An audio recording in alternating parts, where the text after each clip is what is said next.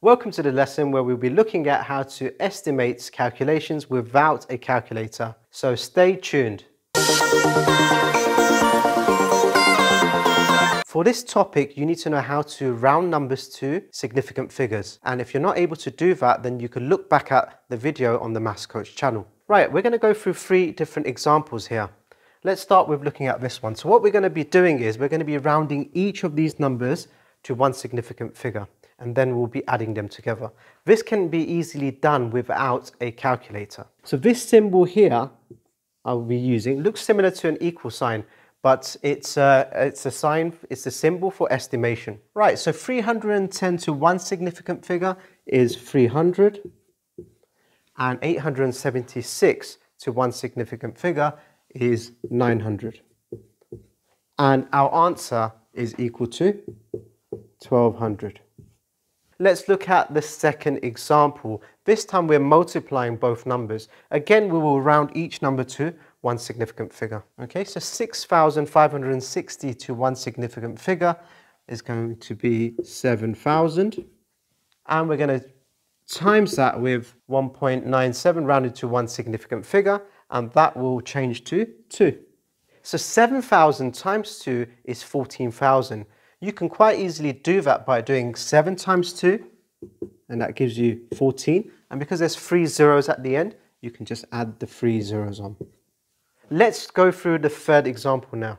This one's a little bit more trickier because we have addition and a division together. So when we're doing this um, calculation here, we think of BIDMAS and we always work out what's on the numerator first before we divide, right? Because this is, there's invisible brackets here. So 68.8 to one significant figure is 70 plus 27.3 to one significant figure and that is 30 divided by 23.7 to one significant figure is 20.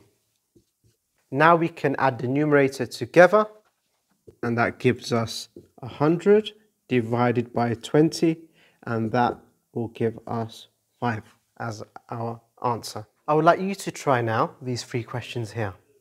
Pause the video and have a go, and when you're ready, press play. Let's go through the first question now. So I'm going to round each of these numbers to one significant figure. This time I've added a square root into the question. So we're going to round each of these numbers to one significant figure. So 38.6 to 1SF is 40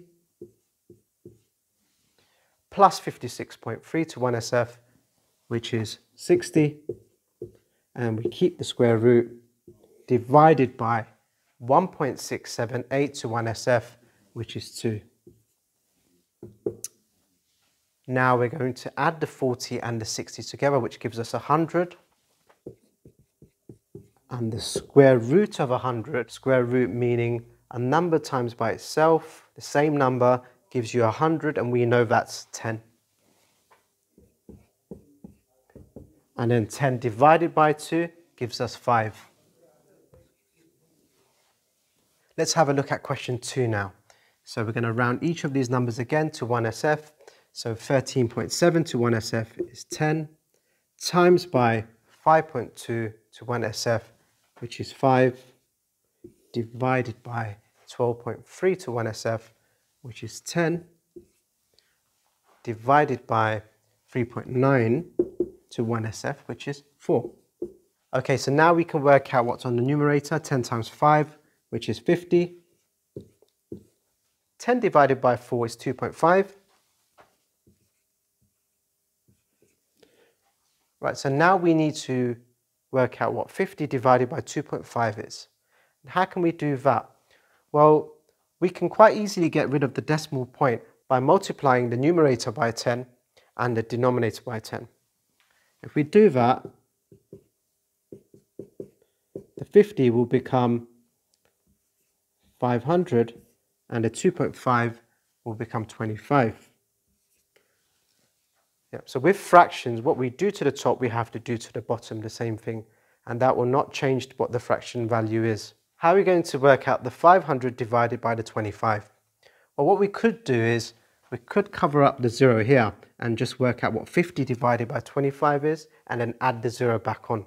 So if you do 50 divided by 25, which is 2, and then we add the 0 back on, and that gives us 20 for our final answer. Let's now look at question number 3. Pence cost 32 pence each. Estimate the cost of 14 pence. So normally, if you are not estimating, you would do 32 pence times 14. But as we're estimating, we're going to round the 32 pence and the 14 pence to 1SF. So 32 to 1SF is 30 times by 14 to 1SF, which is 10. And that gives us 300. So that's 300 pence. We could change that to pounds and divide by 100, and that gives us 3 pounds. I hope you enjoyed the lesson, and I hope to see you next time.